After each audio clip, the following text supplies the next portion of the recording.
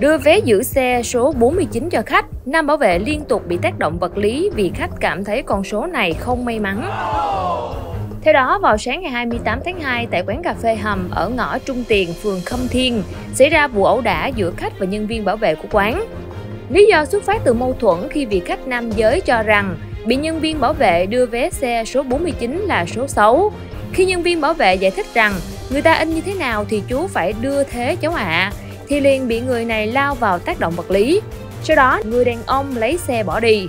Nạn nhân được đưa đi cấp cứu và trình báo sự việc đến công an phường Khâm Thiên.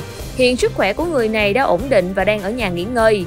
Sau khi cung cấp và trích xuất camera của quán, nhiều người đã nhận ra cũng chính đối tượng này từng tới quán cà phê hầm và tác động vật lý một người bảo vệ khác vào ngày 8 tháng 12. Khi đó, vợ của thanh niên đã vào xin lỗi nên được người bảo vệ lúc đó và quán bỏ qua, không trình báo công an.